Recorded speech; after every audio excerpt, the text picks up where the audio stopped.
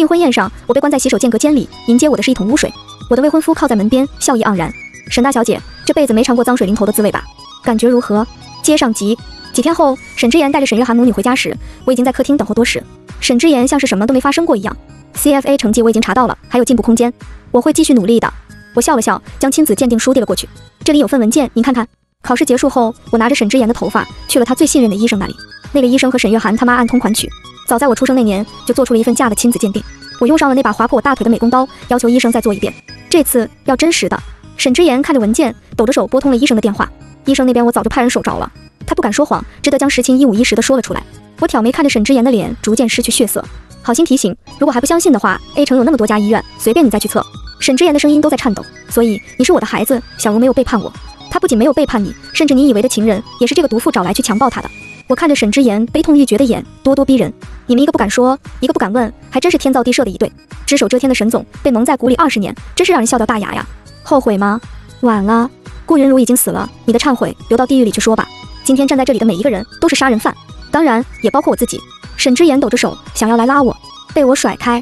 对了，还有个礼物要送给你。我把那份董事会由顾老爷子领头的罢免书扔给沈之言。现在沈氏财团的负责人是我了，我亲爱的父亲，感谢你多年孜孜不倦的教导。你的女儿如今是不是足够优秀，足够符合你的期待了呢？沈之言没了声音，双目失神的不知在看着什么，仿如瞬息间苍老。我没有再去管沈之言，反手抓过已经呆住的沈月涵，我把她按在地上，掏出水果刀，朝着她的脸缓慢又深刻的划了下去。这个是还你考试前给我下药的，刀刃太过锋利，直到血液慢慢渗出来，沈月涵才有知觉。她惊恐的将我挣脱开，哀嚎着捂住脸，扑向她的妈妈。然而她的妈妈早就慌了心神。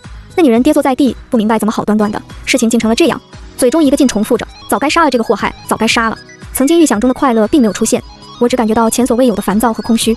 我朝守在一旁的人挥了挥手，示意他们把人带走。那些都是沈老爷子的人，处理这些人的后续也包括在我和他的协议之中。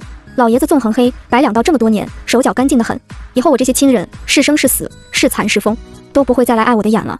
说起来，能让顾老爷子为我做这些事，还要感谢周科。他收集的证据中有一些牵扯到了沈顾两家。随便哪条证据抖出去，都能令老爷子的百年基业化为乌有。想到周科，我的眉眼柔软了一些。他的那份资料被我烧了，我却给自己留了一份备份。要是被他知道，怕是会气出病来。我抬起头，缓缓环顾这个凌乱又寂静的家，毫不留恋地走了出去。现在只差最后一步了，这最后一步实在不太好走。夜色渐浓，我开着车，漫无目的的在街头缓慢行驶。后面的车不停地按着喇叭。我掏出放在车上的手枪，停车，下车，走到那人的车边。他按下车窗，正想破口大骂，我抬手将枪顶在他的额头。没有一丝犹豫，按动扳机的同时，嘴里配着音，动。我看着他吓尿了裤子，情不自禁笑出声。孬种，回家换条裤子吧。我将那把玩具枪顺着他的车窗扔进去，回到自己车上，这才看到手机显示着十多通未接电话，全是周科打来的。我不去找他，他倒是自己找上门来了。我摸出一根烟，叼在嘴里，把电话拨了回去。打出去不到一秒，电话接通了，他的声音从那头传来：“沈清，你在哪？”我搬动打火机，盯着蓝黄色的火焰，愣了一会儿，才想起来回话：“怎么想替沈月喊讨公道？”周科听到我含糊的声音，静默了几秒，问要不要来月色喝两杯。我咧嘴笑了。既然有人求着我带他上路，还有什么好犹豫的呢？到月色之后，服务员轻车熟路地把我带向一个包厢。我推开门，奇遇的声音透过嘈杂的电子乐钻进我耳朵。我记得你以前和沈清玩的挺好，怎么后来搞成这样？我站在门边，听到背对着我的周科如是说。小时候看他妈妈是个疯的，觉得可怜，后来发现他也是个疯的，只是现在你也听说了他家。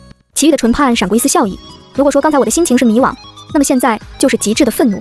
我踹开门，冲了进去。随手抄起一瓶红酒，朝桌边一砸，俯下身，将锋利的碎处对准周科的脖子。周科，我警告你，你可以恨我、爱我，但我绝不允许你可怜我。周科在我将尖刺扎入他脖颈之前，握住了我的手腕。他拉着我的手，将碎瓶子挪远了一些。他凝视着我，恍惚之间，我仿佛看到了曾经那个攒钱给我买游戏机的小男孩。沈清，你冷静点，我知道你现在不好受，你等等我，等我搞垮了周家，我带你走。那沈月涵呢？你不爱他了吗？回应我的是沉默。一瞬间，我全都明白了。我看着眼前周克清润的眉眼，从未想到有一天会觉得这张脸如此陌生。原来他从没有爱上过任何人，他只是喜欢游走在感情关系中，利用他虚伪的好，看着我们斗得头破血流。这一切都是为了满足他可怜的自卑心理，也是我早该想到的。黑暗中开出的花怎么会真的洁白呢？可是他不该来玷污我心里最后的那片净土。我像失了力气，手中的瓶子落地，应声而碎。我听到一个声音从我口中传出：“周科，想去兜兜风吗？”一旁的齐玉倚着沙发靠背，看了半天戏，听到这话，突然开口了。你今天开的是被我动过手脚的那辆车吧？我冷眼逆向齐豫，有时候太对胃口也不是什么好事。他漫不经心地抿了口酒，看向周科，我建议你别去。他的车被我装了炸弹，现在遥控器在他手上。周科凝视着我，似乎想从我眼中辨认齐豫的话是真是假。我没有回答他眼中的问题，只是继续问着。我再问你一遍，想去兜兜风吗？周科没有说去，也没有说不去，只是凝眸看着我，像是在寻找什么东西。一股躁意涌上心头。还有什么好找的呢？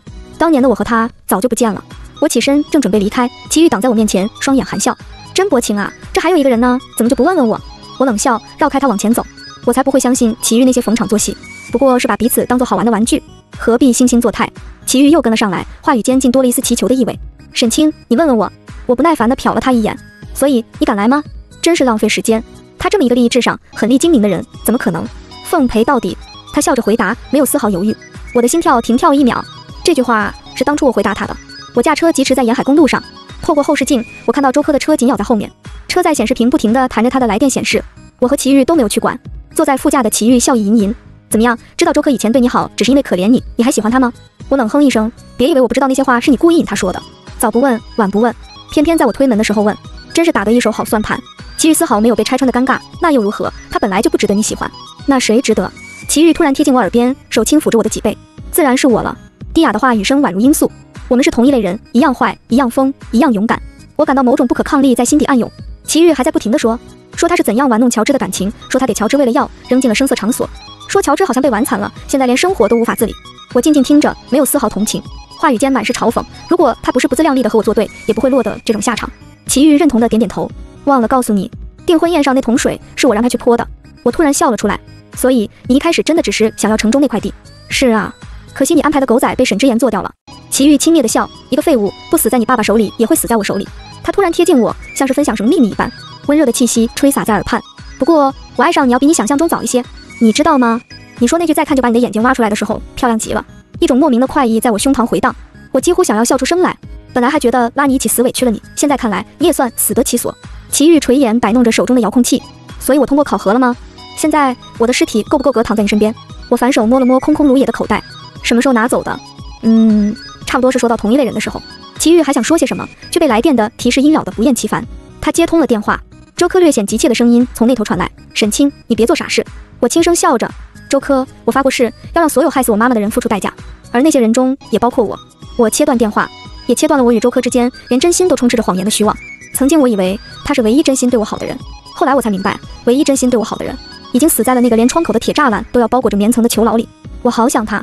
静谧的车厢内，我听到齐豫问：“准备好了吗？”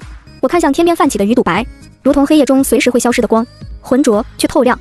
我笑着点点头，伴随着他按下按钮的动作，我们异口同声说出那句“蹦”，整个世界绚丽如转瞬即逝的烟花，如同这场盛大演出的落幕，也或许是新故事的序章。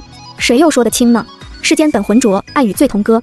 小女孩抱着怀里的娃娃，眨巴着一双大眼，问：“然后呢？然后啊？然后当然是坏蛋全部死光光了。”她摇了摇头，不解道：“谁规定坏蛋就一定要死呢？到底什么是好蛋，什么是坏蛋呢？”我被问得手足无措，胡乱答道：“嗯，遵纪守法，勤劳善良，诚恳待人的就是好蛋。”可是大家最后都要死，是不是所有人都是坏蛋呀？我按住他毛茸茸的脑袋，塞进被窝。小孩子哪来这么多问题？快睡觉。毛茸茸又钻了出来。妈妈，我不想他们死，那颗炸弹就不能也是玩具的吗？昏黄的灯光中，我看向床头摆放着的独角兽娃娃，它经历过风吹雨淋，肮脏破烂，肚子上还布满了密密麻麻的缝针线。可是没人知道那里面的棉花是黑是白，是什么形状。我笑了笑，轻点着女孩额头。